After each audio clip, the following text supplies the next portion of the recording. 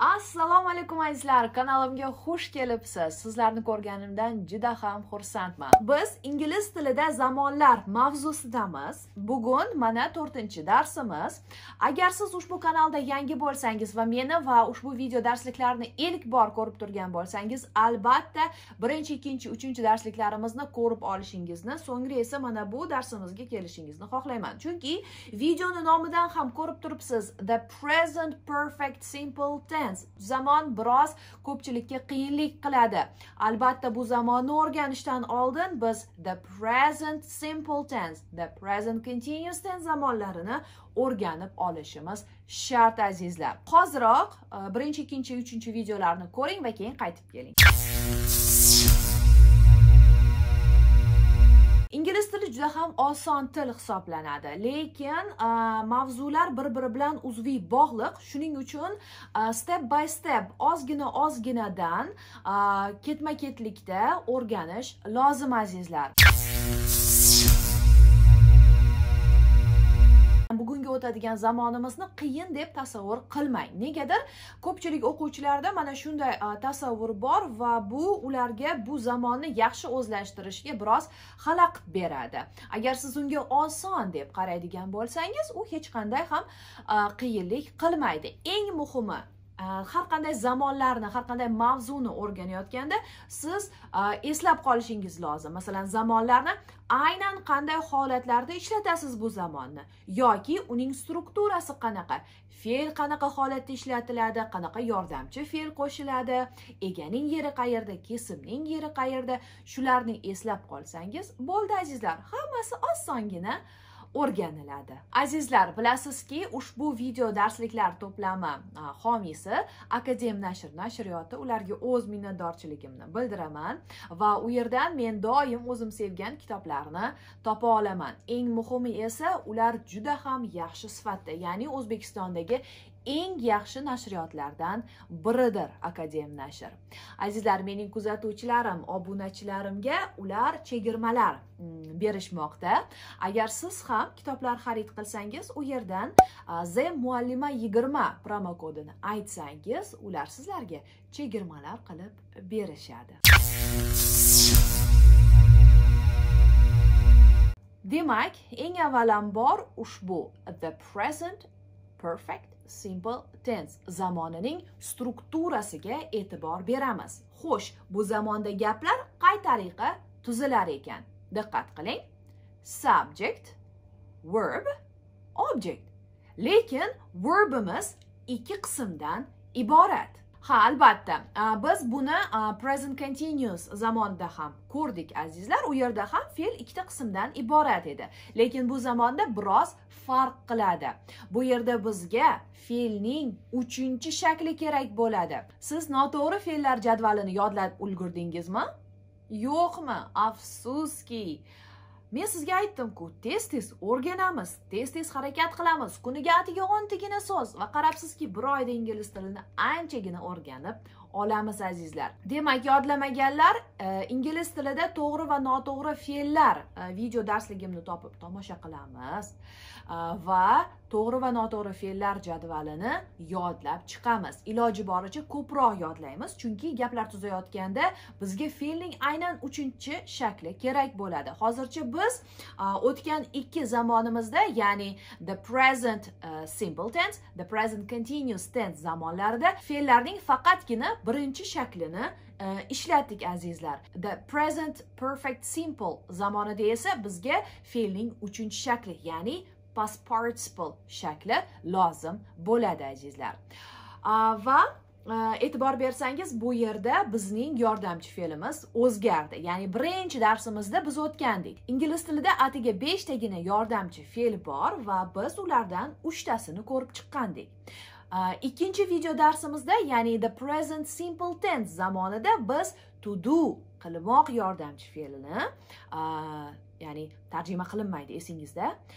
O'tgandek ya'ni uning dudas shakllarini aynan hozirgi zamonda ishlatish shakllarini ko'rib chiqqandik uchinchi video darsimizda esa the present continuous tense zamonida biz to be fe'lining aynan hozirgi zamondagi uchta shakli am is are ni ko'rgandik mana bugungi to'rtinchi video darsimizda esa biz uh, Uh, to have yordamchi fe'lini ko'rib chiqamiz. Nega? Chunki u aynan the present perfect simple uh, zamonida yordamchi fe'l sifatida ishtirok etadi va o'zining ega bo'lmoq. Menda borda uh, ma'nolariga ega bo'lmaydi. U hech qanday tarjimaga ega bo'lmaydi.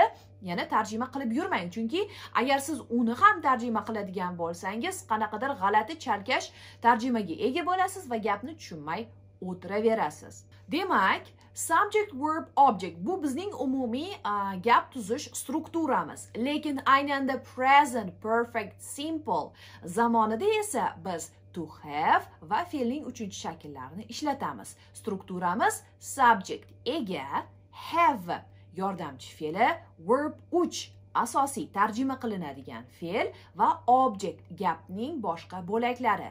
Va yana bir e, muhim joyi to have yordamchi fe'lining e, hozirgi zamonda ikkita shakli bor have va has. Farqi nimada? E, Olmoshlarimizni eslab olamiz i men you sen we biz they ular. Aynan mana shu to'rtta olmoshga biz to have fe'lining have shaklini ishlatamiz. He she it ya'ni u o'g'il bola qiz bola va jonsiz hayvonlar uchun bo'lgan olmoshlarimizga ya'ni bu uchinchi shaxs birlikda bo'lganligi uchun to have fe'lining has shaklini ishlatamiz. Va keyin fe'lning uchinchi shaklini yozib to'ldiruvchini yozib gapimizga nuqta qo'yamiz. Agar bu zamonda gap tuzish strukturasi tushunarli bo'lsa ana endi biz aynan qanday holatlarda ushbu the present perfect simple zamonini ishlatishimizni ko'rib chiqaylik. U bir necha holatlarda ishlatiladi. Shuning uchun men uni punktlarga bo'lib chiqdim. Ya'ni birinchi holat ikkinchi holat uchinchi holatga bo'lib chiqdim. Va alohida misollar bilan. I have started learning english. Men ingliz tilini o'rganishni boshladim. Akbar has not arrived yet. Akbar hali kelmadi. Demak gapdan ham tushunib oldik. Demak ish harakati o'tgan zamonda bajarilyapti lekin u aynan hozirgi zamon bilan bog'liq uzviy bog'liq. Demak birinchi qoidamiz shuki qachonki ish harakati o'tgan zamonda bajarilsa va u aynan hozirgi zamon bilan uzviy bog'liq bo'lsa va ya'ni o'tgan zamonda bajarilgan ish harakatining natijasi aynan hozirda bo'lsa biz the present perfect simple zamonini ishlatamiz azizlar. Va e'tibor bering bu yerda yangi xabar berilyapti. Va shu ma'lumotni ham qo'shimcha tarzda eslab qolishingiz kerak azizlar. Qachonki siz yangi xabar ma'lumot berayotganingizda ham uh, the present perfect zamonini ishlatishingiz lozim bo'ladi. I have started learning english ya'ni xabar beryapman. Men ingliz tilini o'rganishni boshladim. Yoki akbar hasn't arrived yet. Akbar hali ham kelmadi. Ikkala gapda ham yangi ma'lumot berilyapti va ikkalasining ham hozirgi zamonda natijasi bor. Ish harakati esa o'tgan zamonda bajarilyapti. Keling yana bir mana bu gapni misol tariqasida ko'rib chiqaylik. Ya'ni qachonki ish harakati o'tgan zamonda bajarilsa va uning natijasi hozirgi zamonda mm, bo'lsa. Misol uchun i have read 10 books this month so far. Men mana shu oyda 10 ta kitob o'qib tugatdim. Ya'ni deylik bugun oyning yigirma yetti yigirma sakkizinchi kuni. Va siz oy davomida ya'ni masalan deylik balkim yigirma kun davomida balkim yigirma besh kun davomida mana shu o'nta kitobni o'qib tugatdingiz. Va qolgan uch to'rt kun davomida siz hech qanday kitob o'qish niyatingiz yo'q. Lekin siz ish harakatini qachon qildingiz? Aynan mana shu oy davomida qildingiz. Oy hali tugagani yo'q. Ha hatto bu vaqt o'tib ketgan bo'lsa ham ya'ni bir ikki kun oldin tugagan bo'lsa ham uning natijasi aynan hozirda.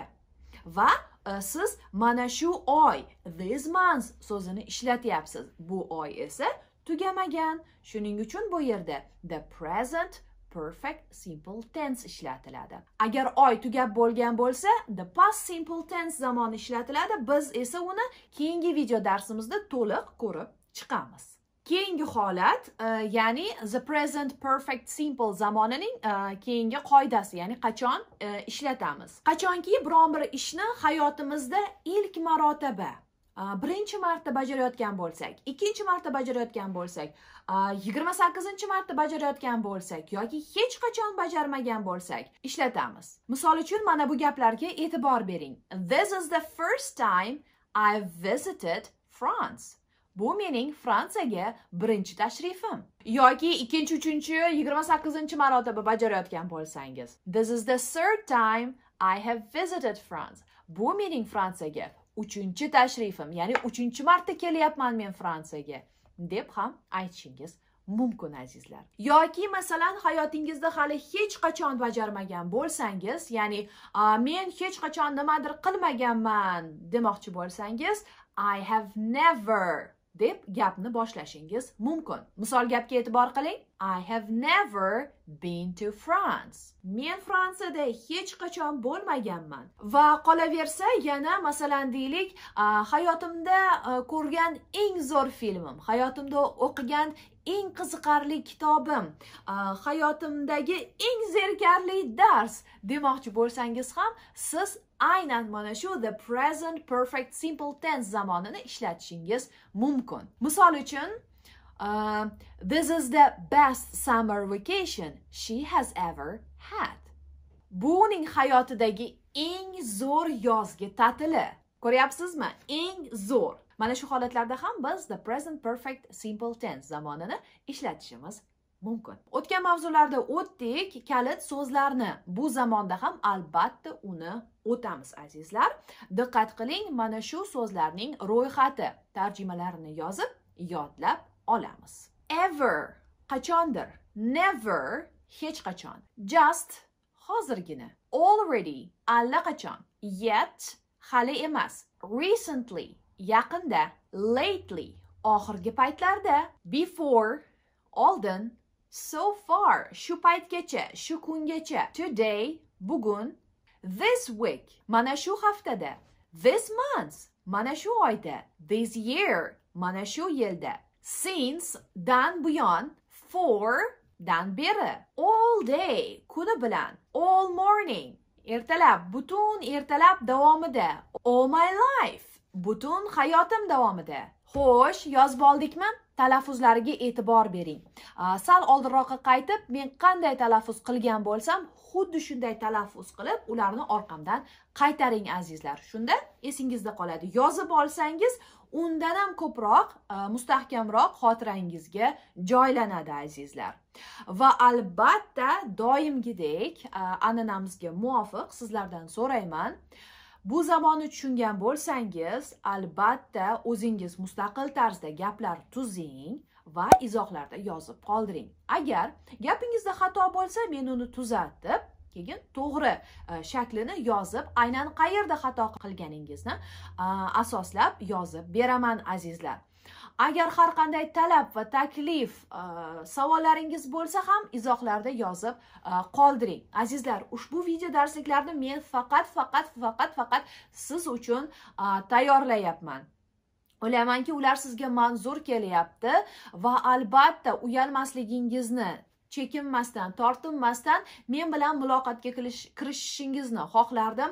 Albatta izohlarda yozing nima yaxshi nima yomon bo'lyapti qayeriga tushundingiz qayeriga tushunmadingiz qanday sizga yordam kerak mana shu ingliz tilini e, o'rganishda. Barcha kerakli foydali va qiziqarli materiallarni telegram kanalimga yuklab qo'yganman azizlar va ularni yuklashda davom etyapman.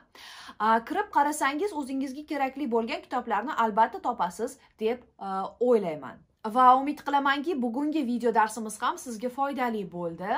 Eslatib o'taman ushbu video darsliklar to'plami homiysi akadem nashr nashriyoti ularga o'z minnatdorchiligimni e, bildiraman azizlar. Kitob xarid qilayotganingizda the muallima yigirma promokodini aytadigan bo'lsangiz ular sizga chegirmalar qilib berishadi azizlar. Va agar ingliz tilini o'rganayotgan boshqa do'stlaringiz ham bo'lsa ushbu videoni bo'lishishdan chekinmang. Azizlar hali ham subscribe bo'lmagan bo'lsangiz albatta subscribe tugmasini bosing. Video yoqqan bo'lsa like yoqmagan bo'lsa dislike tugmalarini bosishni ham unutmang.